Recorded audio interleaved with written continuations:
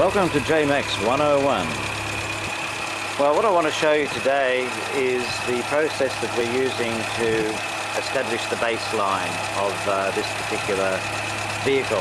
This is a Corolla 1.3 litre engine and what we want to find out is um, how long it will run for on the carburettor after the fuel is switched off. This is a very easy reference point which we can all do and, um, and then evaluate uh, various cells, whether they're hydroxy, Joe cells, JMax cells or whatever, um, as they uh, cut in and improve engine performance. Now what we've done is we've fitted a, um, a fuel cut-off cell which is available from any LPG installation uh, place and um, we simply turn the fuel off and time the engine run out. Now at the moment we're running um, on idle at about um, 570 revs. It's around 550 but it's a little bit above the 550. And we'll go and uh, switch off the fuel now and see how it performs. The switch is just mounted under the dashboard here and uh, we'll try and flick the switch off as well as set the timer going. Okay, now we're timing. Okay, now when we started uh, experimenting with this vehicle, uh, the very first time we um, ran it after fitting the fuel cutoff, the time was 98 seconds. So that's our baseline. Now since then we've uh, uh, fitted an energized cell and we actually got up to 4 minutes and 5 seconds which was quite a dramatic improvement.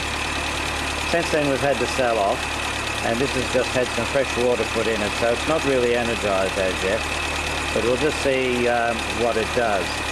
We've also done a bit of running around and on 160 kilometres we on average use about 18 litres of fuel. Now on the last run when the cell was actually fitted and had been energised that went down to 15 litres, a saving of 3 litres on 160 kilometres.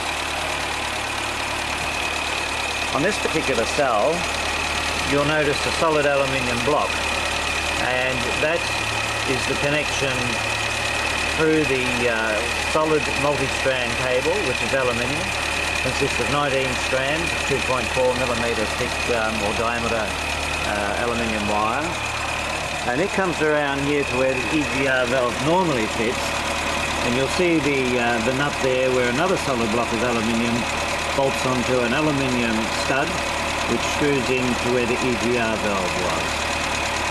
Okay. Now that red wire down there is the connection at the end of the cable which goes to our auxiliary battery pack which supplies 3 volts to the cell at all times to keep it slightly energized.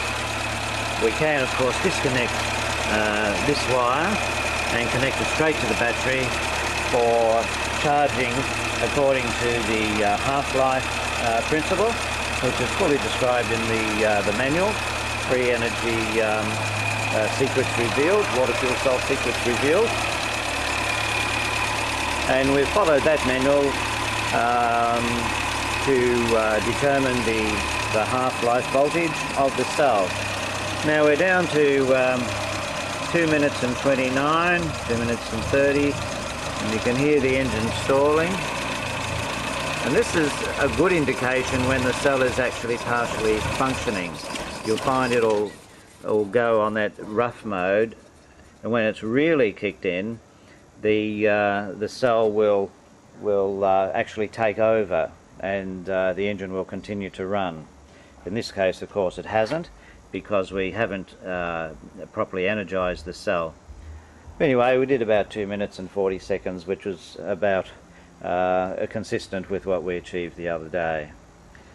So we think that what's happened here is that uh, there is some residual effect from the uh, earlier cell that had been energized to quite a good degree.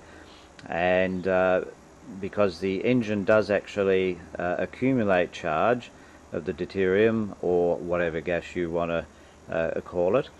And effects will linger even when you take the cell off.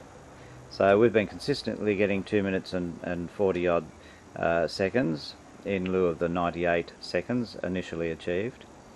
And so we can use that as our second benchmark, our stepping stone. And as we uh, energize this particular cell and it kicks in, uh, we will we would expect to see a, a greater improvement on our times. So this is the very basic first step of evaluating your engine and from there we will certainly notice uh, further improvements. Rather than just expecting the cell to kick in and run, we can now evaluate a step-by-step -step process and actually plot improvements as we go. And as you make alterations to cable connections and so on, or to the uh, charging of the cell, it, it, gives you a means of, uh, of, of reasonably accurate evaluation.